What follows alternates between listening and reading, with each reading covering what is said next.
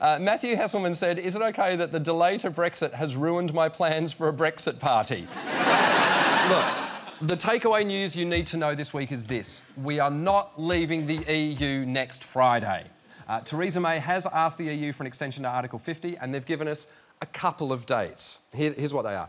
If Theresa May gets an updated version of her withdrawal deal approved by Parliament next week, we will leave the EU on May 22nd. If not, there'll be an extension until April 12 when we need to decide whether or not we're going to crash out without a deal or stay longer and register for the EU elections.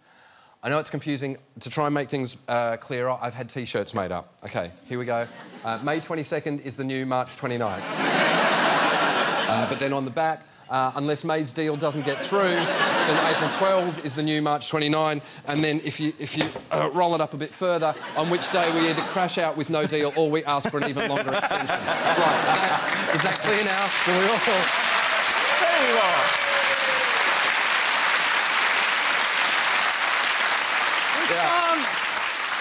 We can't leave the EU on May 22nd. What? It's a Wednesday. It's you can't start a new dawn on a Wednesday. It's hump day. no, one, no one's ever gone, right, time for a new me. The diet starts Wednesday. It's odd. It's just two-week extension. We've gone on for three years. Yep, yep. Is she just going to keep extending? Is Theresa May basically doing the Brexit equivalent of when I click on my computer, remind me tomorrow? yeah. Well, last night, here's what happened. Theresa May was grilled by EU leaders for an hour and a half, and according to one EU source, her plan amounted to, quote, 90 minutes of nothing. Oh, that was like that review of your tour, wasn't it? which was unfair, which was unfair, because the night I saw you came off after 70. and rightly so, because you couldn't hear you over the booze. well, I wonder yeah. at what point of that Theresa yeah. May started to realise that it wasn't going well. Yeah. no, it's a long old time. Like, normally, when I talk on this show, in the first 10 to 15 seconds, I realised this isn't going well, then wait for Josh to bail me out. the French President Macron told EU leaders that before Theresa May spoke last night, he thought she had a 10% chance of getting her deal through next week.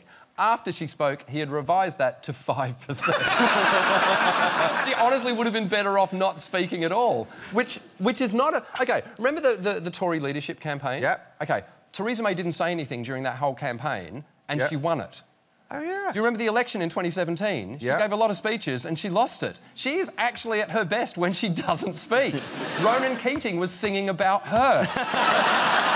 Yeah, life, uh, life is a roller coaster. exactly. exactly. Also, see, Macron said that it's a five percent. She thought she's got a five percent chance of getting a deal through. Yeah. To make you realise just how grim that is. Yeah. Macron thinks that I've got a six percent chance of growing everything back.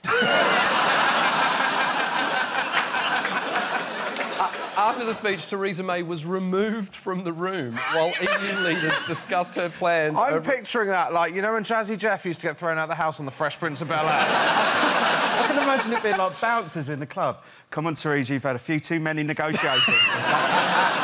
Uh, EU leaders discussed her plans over a fancy three-course meal. She spent five hours in a windowless room and had to order pizza. Do you know, though? Yeah. Sitting for five hours in a windowless room yeah. is the happiest she's been in three years. her ordering a pizza going, Hi, can I have a margarita? And they go, We haven't got any margaritas. OK.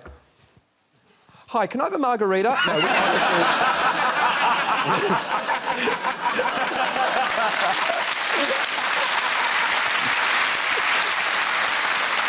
can't you said you wanted to do a play because you found uh, touring and doing stand-up very lonely. Very lonely. Are you it's joking? Very, yeah, yes. I was your tour support? I,